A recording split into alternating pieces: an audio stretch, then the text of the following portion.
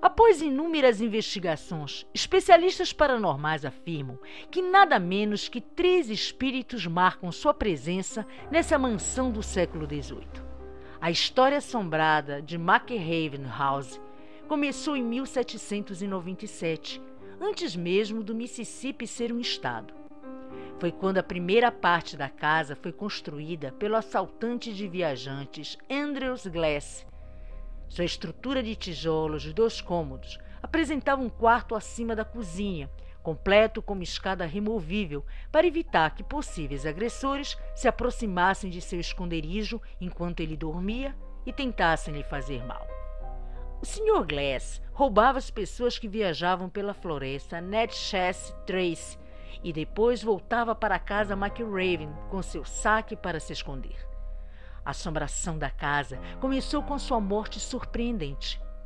Certa noite, Glass foi ferido e quase capturado por alguns espanhóis. Conseguiu escapar e voltou para McRaven. Sangrando e receando ser capturado e torturado, o assaltante convenceu sua esposa a salvá-lo daquele futuro sombrio, acabando com sua vida. Ela obedeceu e cortou sua garganta na casa onde eles passaram tantas noites juntos. Dizem que ele assusta as mulheres da casa com suas mãos geladas. As assombrações então continuaram com os Howards. O xerife Stephen Howard comprou a casa em 1836 para ele e sua esposa grávida. Mas em agosto do mesmo ano, ela, sua esposa Mary Elizabeth, morreu ao dar à luz no quarto do meio da casa. Ela tinha apenas 15 anos. Muitos dos pertences pessoais de Mary Elizabeth ainda estão na mansão até hoje, incluindo seu chale de casamento.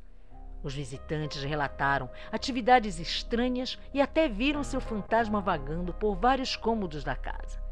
Ela também é conhecida por dar sustos e pregar peças nos vivos, e costuma mexer em armários, desaparecer com objetos pessoais que reaparecem debaixo da cama, e colocar as mãos na barriga de mulheres grávidas.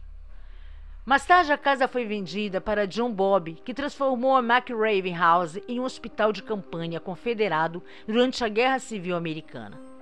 Por estar localizada tão perto das batalhas que aconteciam na cidade, a casa suportou tiros de canhão e serviu de abrigo para os soldados feridos. Muitos, pela gravidade dos ferimentos, morreram no local, sendo enterrados lá mesmo.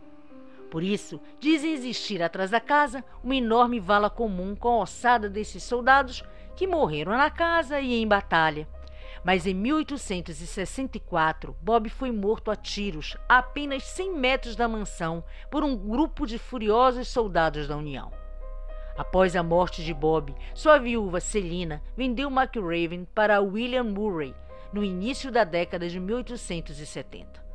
William se mudou com a família algum tempo depois. Ele morreu em 1911. Ellen, sua esposa, seguiu em 1921. A filha Aida faleceu em 1946 e um filho em 1950. Todos morreram na casa. Até 1960, ela e Anne, as duas filhas de William, eram as últimas sobreviventes da família Murray e únicas herdeiras da mansão. Em 1960, Ella Murray morreu aos 81 anos e sua irmã Anne vendeu a casa para O. E. Bradway. Mas a casa estava em condições miseráveis, tanto que os vizinhos nem sabiam que ela ainda existia. Também seria descoberto que parte da mobília antiga da casa havia sido usada pelas irmãs como lenha. Um fato bastante bizarro aconteceu na sala de estar da mansão, que tem uma atmosfera tão sombria que se é capaz de sentir o cheiro da morte no local. Contam que quando as irmãs Anne e ela eram donas de McRaven, a sala foi usada como área de preparação para o funeral do senador estadual Henry Murray, com seu corpo deitado no centro da sala. As irmãs tornaram-se tão reclusas nesse ponto que não se importaram ou nem mesmo sabiam que o corpo de Murray nunca foi levado de sua casa e ficou apodrecendo na sala por dias após o funeral.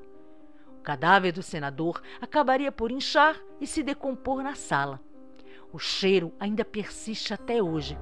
Mas, segundo testemunhas, são os espíritos de William Murray e de suas filhas que ainda estão na casa e podem frequentemente serem vistos assombrando a propriedade. Desde então, a escritura do lugar foi passada para vários proprietários diferentes que restauraram a casa ao longo do tempo. Hoje a McRaven House pertence à família Reed, que comprou a casa em 2015 e a reabriram para o público.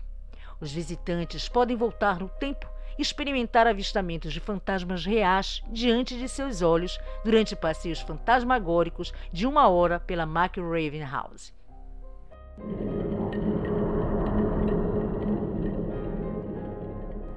Dentre as muitas aparições que você pode encontrar ao visitar McRaven Tour Home está o fantasma de Mary Elizabeth Howard. Esse é o espírito mais ativo na mansão. Ela morreu jovem em 1836 logo após sofrer complicações no parto. Ela era dona da casa e, pelo visto, não conseguiu deixá-la. Quem visita a propriedade McRaven poderá sentir a atmosfera melancólica que o espectro de Mary Elizabeth causa no ambiente. A casa teve outros proprietários. John Bob construiu o grande salão grego e a suíte master de McRaven. Ele sobreviveu ao cerco de Vicksburg na mansão, apenas para ser assassinado um ano depois pelas tropas da União, cujo assassinato foi o primeiro ato de violência registrado por soldados da União após o cerco de Vicksburg. Relatos dão conta de que logo após seu fim trágico, John passou a ser visto vagando pela varanda da mansão nas noites enluaradas. Vozes misteriosas são ouvidas sussurrando no escuro.